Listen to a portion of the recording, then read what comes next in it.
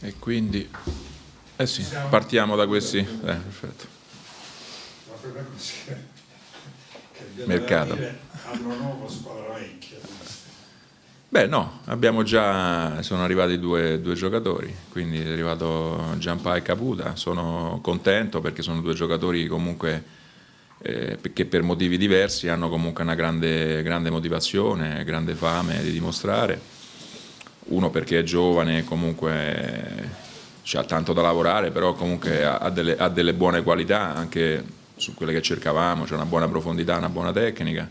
L'altro perché oltre ad essere un ottimo giocatore che sta ancora bene fisicamente, è sicuramente un uomo spogliatoio importante che in questa squadra necessitava, quindi la dinamica di gruppo sicuramente si è accresciuta, quindi anche il, la tipologia di calciatori mi piace e qualora ci fosse qualche altro giocatore che, che venisse a, a Catanzaro, questa deve essere la tipologia, gente che ha fame, che ha spirito di appartenenza e che ha grande voglia, al di là delle caratteristiche tecniche che poi servono. Insomma. Stava dicendo che non possono essere impiegati. No, Caputa può essere impiegato, 100% a disposizione, Giampà c'è questo, però più sì che no, da come mi ha detto il segretario, vediamo, ci potrebbe essere una questione di tempi, non so se, se si fa a tempo a ratificare il contratto o no.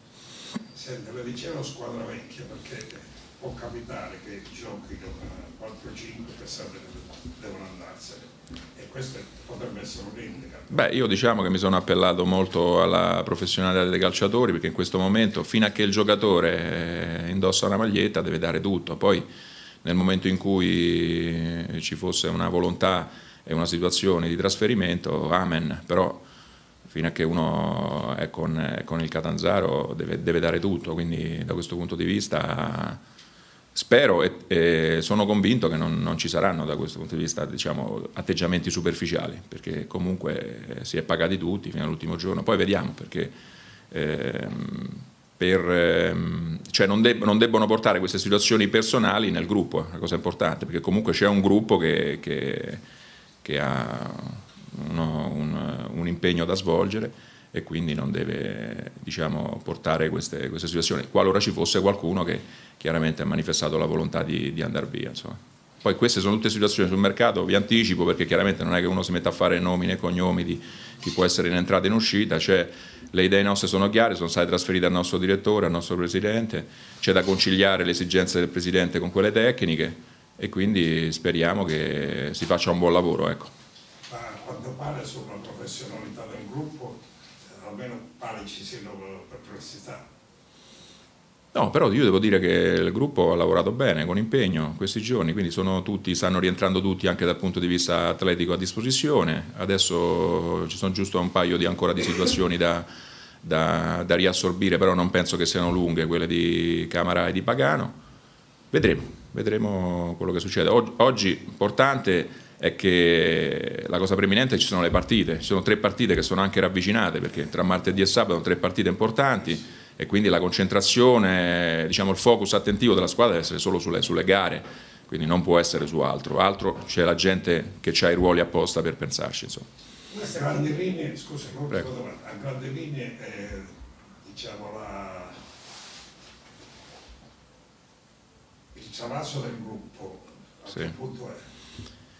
Eh beh, è stato fatto un, eh, per adesso è andato via solo a livello ufficiale, è andato via un giocatore e se ne sono arrivati due. E poi ci dovrà essere qualche cosina, qualche ritocco, ancora ci deve essere perché io sono, ho fatto le richieste alla società. È, è, certamente una squadra non da rivoluzionare perché non è una squadra che sta ultima, eccetera, è una squadra da ritoccare, da rimodellare, da riequilibrare. Ecco, quindi ancora qualche situazione c'è da fare sicuramente però non sono una rivoluzione di 7, 8, 10, 12 persone, perché insomma così smonteremmo una squadra e poi per rimontarla... Comunque si era parlato di 7 uscite. Per, cioè voglio dire, tecnicamente voglio dire, è una squadra non da rivoluzionare, da riequilibrare, da ritoccare, da, da, da, da cambiare qualche situazione però non da smontare completamente e poi da rimettere a posto perché oggi in questo momento delle partite eccetera smontare tutto, rimettere a posto sarebbe un lavoro immane eh? perché poi ci sono le gare quindi in questo momento bisogna attenerci ai ragazzi che abbiamo che, cosa, cioè, che, che difficoltà hai incontrato nel,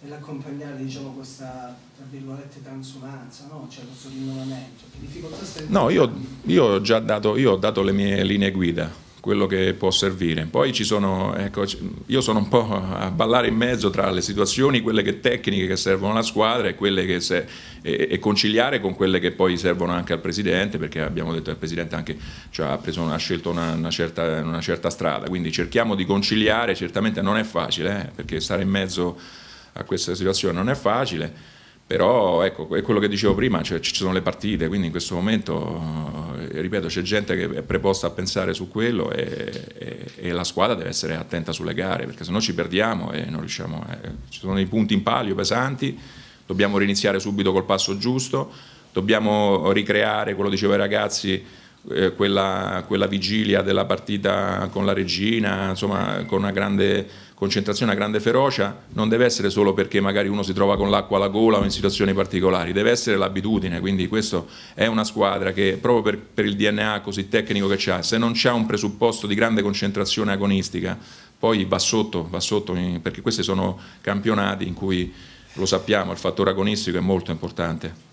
Delle volte è preminente su quello tecnico. Eh, al letto di quello che ci siamo detti, no? questa eh, cioè, rivoluzione comunque tiene conto anche del fatto che secondo me mister, se si ricreano tutte queste, cioè queste, diciamo, sì. queste caratteristiche e anche queste, le motivazioni che c'erano anche prima, a me questi sei punti non, neanche, non, mi sembrano neanche tanti. Cioè vorrei, si può fare tutto nella vita, nel eh, bene e nel male, quindi noi dobbiamo lavorare e cercare di rimettere, eh, di, di, di, di, dare il massimo e di, ripeto, riequilibrare un po' la squadra. E, perché poi sono fiducioso, perché comunque anche dal lavoro che vedo c'è crescita su certe situazioni, poi chiaramente questa crescita deve essere anche tramutata in risultati, perché poi e quindi tutto, tutto, può essere. Oggi però si deve vivere la giornata senza nessun proclama, niente, perché oggi saremmo un po' fuori luogo fare i proclami, dire riprenderemo, faremo. Facciamo giorno dopo giorno perché questo è importante. Sta lavorando con 442 perché ci, come ci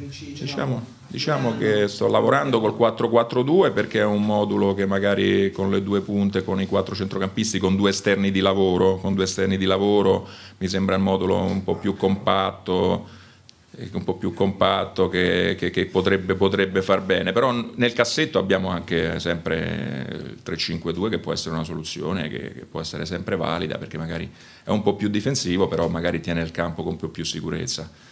Però sì, è vero, stiamo lavorando su questo 4-4-2, certamente eh, sì. Eh, eh, il, il, presupposto è che tutti questi giocatori comunque diano sempre una mano alla squadra. Se, sono convinto che se, ripeto, se ci mettono questo, questo discorso, giocatori tecnici bravi che mettono il lavoro per la squadra, come hanno fatto per esempio nella partita con la Regina, al di là dell'avversario e del risultato, si può far bene.